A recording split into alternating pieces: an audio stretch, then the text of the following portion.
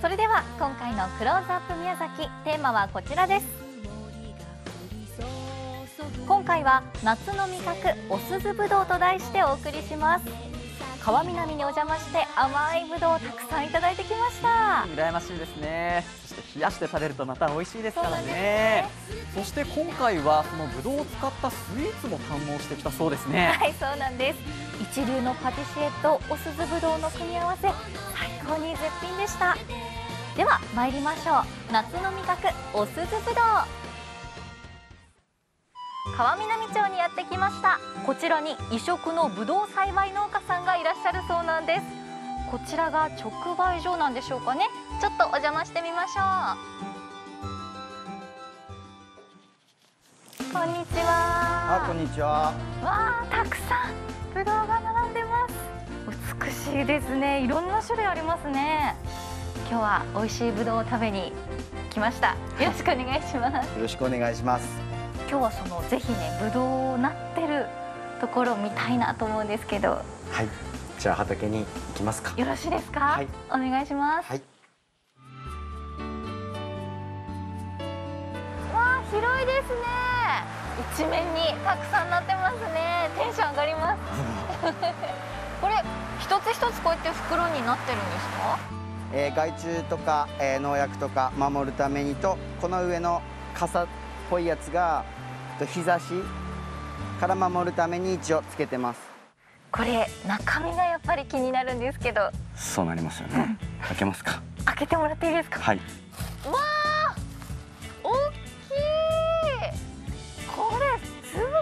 ごく大きいですねそうですね。今のところ一応世界一の粒ということで、天山っていう品種で、はいなんかあんまり見たことないですけどいやもうほとんど出回らないと思います。市場にはなかなか出てこないブドウです。僕も出荷前に8割割れて終わりとか、作るの難しいんですねナイブなブドウです。取ってみますこのサイズのぶどう見たことあります？皮ごと食べれるんで、はい。そのまま。このまま？はい。う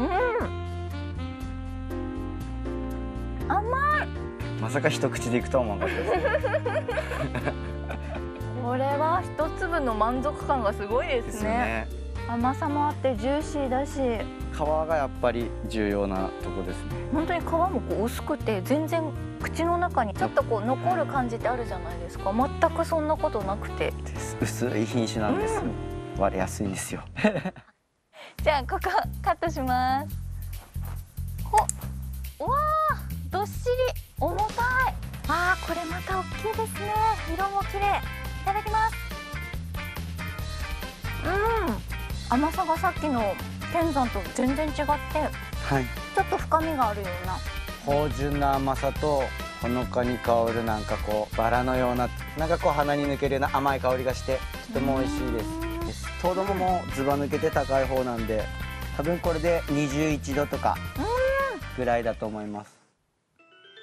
このハウスだけでなんと11種類のブドウを栽培しているそうです。今井さんこれまた変わった形してますね、はい。何ですかこれ？これゴールドフィンガーっていう品種です。大きい唐辛子みたいな。ぜひ食べてみてください。ですか？すごい細長い。じゃあいただきます。うんデラウェアに近い。甘みありますね。本来はもっと綿あめ食べた後みたいになるんですけどうん。そこまでならないんでも今年でも諦めようかと諦めるっていうの？はもうもう元からバッサリ切り切って。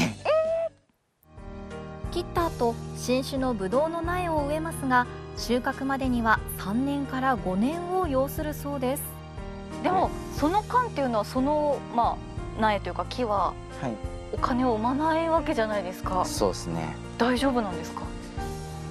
まあなんかバルバイトとかして食いつなげていきます。それぐらいねそう美味しさを追求されてるとはい。いうことですよね。どうせ同じことするぐらいならやっぱり美味しいものを作りたいんで頑張っていきたいと思います。直売所でさらに違う品種を楽しみます。こんなにねぶどうに囲まれて夢のようです。なかなかないですよねこの。そうですね。嬉しいです。まずは食べてほしいのはこの青いぶどう、えっと、お酢で、えー結構みんな頑張って作ってるハニービーナスっていう品種です。うん。プチッと弾けました。甘いですねまた。まさにこのハニービーナスっていうだけありますから。ハニーね強い甘さ感じますね。あよか美味しいえーこの、えールージュ色した赤いぶどうが、えっとサニールージュっていう品種になります。こちらも種がないんで皮だけ出して食べてください。はい。うんあこっちもまた優しい甘さですね。あとやっぱりこのサイズ感小粒なのですごく食べやすいですしお子さんとかもね人気ありそうですね。そうですね。子供に人気がある品種になってます、うん。今井さんはもう一つの顔があると伺ったんですけどあ。こちら、あサーフって書いてる。直売所の一角にあるのが今井さんが経営するサーフショップぶどうをイメージしたオリジナルのサーフボードもあります。今井さんは高校卒業後宮崎市内でバイトをしながらプロサーファーを目指していました。しかし25歳の時相次ぐ怪我などでプロへの道を断念。実家に戻ってきたのです。実家に帰ってこられてお父さんもさぞ喜ばれたんじゃないですか？いやいやいやいやもう相当迷惑そうでした。あそうなんですか。なんでいやーもうなんかフラフラしてたしもう本当にすんのかなっていう顔してましたね。父親のぶどう作りにかける真摯な思いに胸を打たれた和幸さん。必死に技術を学ぼうと休みなく働きます。やっぱ美味しいの一言じゃないですかね。気象条件に左右されまくるんでそれができた時の喜びがもうすごいんでやっぱお父さんたちが土作りした上に僕のブドウが乗ってきているんでやっぱもう家族みんなで作り上げてるもんなんで、えー大事に大事にしていきたいなと思ってます。今井農園のぶどうは JA おすず直売所おすず村道の駅角などご覧のところで販売しています。続いて向かったのが宮崎神宮そばにあるフランス菓子専門店 M ブルー。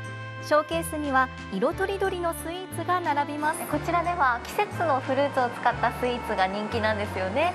今あのお鈴ぶどうのサニールージュっていう品種があるんでそれを使ったケーキを2種類作ってます。一つ目はあのサニールージュのタルトになります。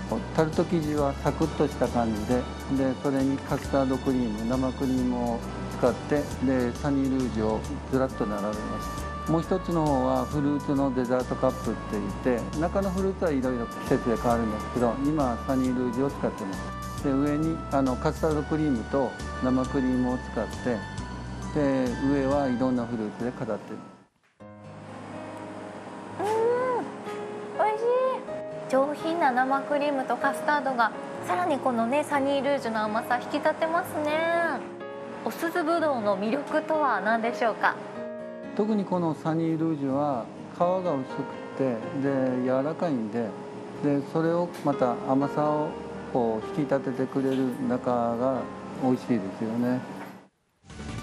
そのまま食べてもスイーツでもどちらも美味しいおすずぶどう。ぜひ皆さんもお召し上がりください。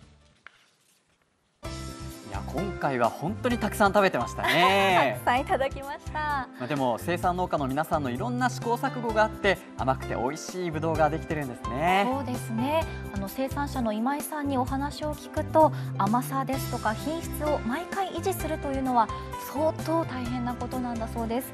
消費者の私たちはそうした苦労や、えーそうした苦労ですとか思いも感じながら美味しくいただきたいですね。以上クローズアップ宮崎でした